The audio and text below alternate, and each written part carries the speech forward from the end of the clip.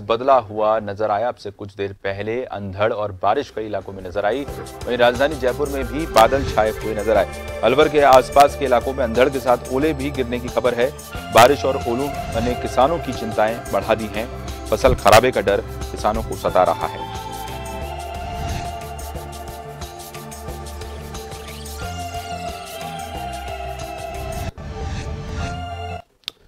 हमारे साथ हमारे सहयोगी सुदर्शन जुड़ रहे हैं मौसम को लेकर ज़्यादा जानकारी देने के लिए। राजस्थान के कई ऐसे इलाके हैं जहाँ आज मौसम का मिजाज सुदर्शन बदला हुआ नज़र आया। राजधानी जयपुर में भी हमने देखा, अब से कुछ देर पहले अचानक एकाएक मौसम बदला और हालाँकि गर्मी से ज़रूर लोगों को राहत मिली, लेकिन कई ऐसे इलाके हैं अलवर में जहाँ पर ओले गिरने की गिरने की भी खबर है। वहाँ पर किसानों को फ़सल खराबे की चिंता सता रही है। सुदर्शन।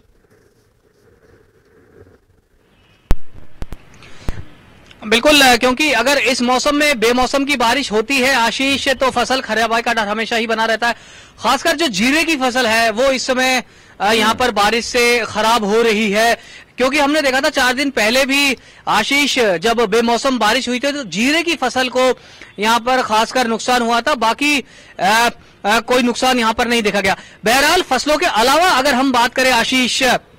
पश्चिमी विक्षोभ के चलते ये जो मौसम है, इसका मिजाज यहाँ पर बदला है और प्रदेश के कई इलाकों में झमाझम बारिश यहाँ पर हुई है। ये कहते हैं कि शब्दों से ज़्यादा तस्वीरें बोलती है तो मैं, हमारे कैमरा साथी सुशील को कहूँगा, वो एक बार जयपुर का मौसम दिखाएँ कि किस तरह का मौसम, इस समय जयपुर में खुशनुमा हो रहा है। आशीष सवा पाँच, साढ़े पाँच बजे का ये वक्त है।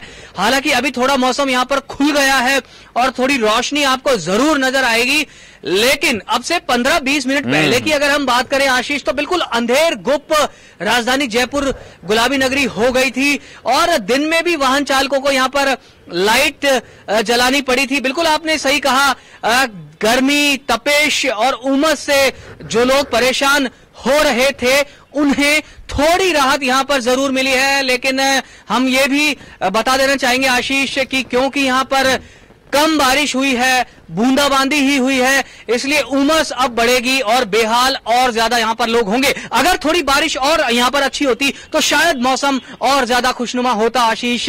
लेकिन पश्चिमी विक्षोभ के चलते जैसा कि आपने कहा ओलावृष्टि भी हुई जैसलमेर के इलाकों में। और अगर हम जयपुर की बात करें तो यहाँ पर थोड़ी बारिश हुई सड़कों पर पानी भरा और अंधेरा एकदम से छा गया जिसके चलते वाहन चालकों को दिन में ही यहाँ पर लाइट का प्रयोग करना पड़ा ये बात बिल्कुल सही है कि फ़िलहाल यहाँ पर तापमान में तीन से चार डिग्री की गिरावट हुई है और जो उमस से बेहाल थे लोग तपिश से परेशान थे लोग उनको थोड़ी राहत मिली है लेकिन जब कम बारिश होती है आशीष तो हम सब जानते हैं हम्म। थोड़ी देर बाद में उमस यहाँ पर बढ़ती है और लगता है शायद यहाँ पर उमस और ज़्यादा बढ़ेगी।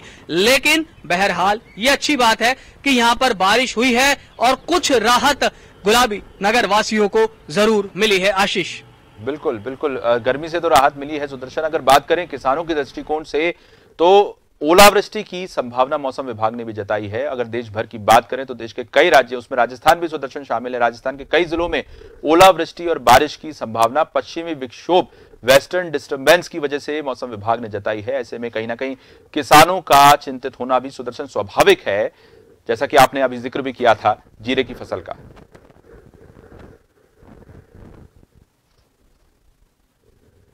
स्वाभाविक है, क्योंकि जब बारिश होती है तो फ़सलों को नुकसान होता है तो किसानों का यहाँ पर चिंतित होना स्वाभाविक है।